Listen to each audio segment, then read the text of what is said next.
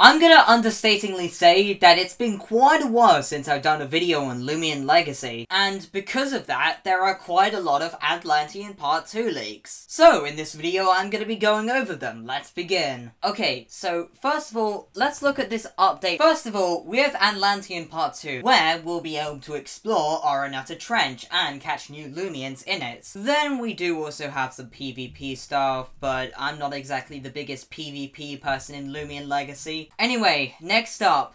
After leaving Atlantean City, I'm pretty sure the next route, from what it looks like, I mean, obviously you can tell what it is, um, it is going to be a snow area, which, I mean, you know what I mean, and you'll be able to catch more Ice-type Loomians, because, like, I mean, there isn't very many Ice-type Loomians right now, I mean, they just, uh, they very recently added a Ice-type Loomian into the game, but like, yeah, I mean, I think there should be more ice types, but uh, yeah. And finally, on the roadmap, we have raids. So, raids have basically been done before. I haven't exactly recorded the raids in Loomian Legacy when that uh, first came out with Dragodyne. By the way, like, the max level was really, really hard. Even harder for me hopefully, hopefully when they actually, you know, try, you know, come back to raids, they'll reform, you know, the raids and maybe make them possible for people like me to do,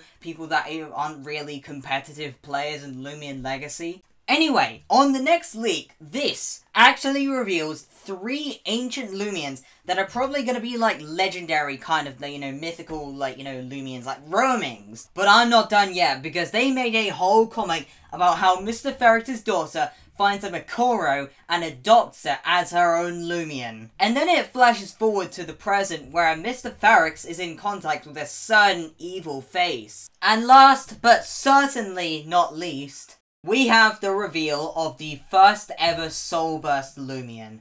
And I am not going to beat around the bush. The design is genuinely amazing. And the concept of being a plane uh, actually tying into like the design absolutely is awesome. Like it actually works like a plane. It actually has a cool new move where it actually uses like you know like plane stuff, stuff to do with the plane.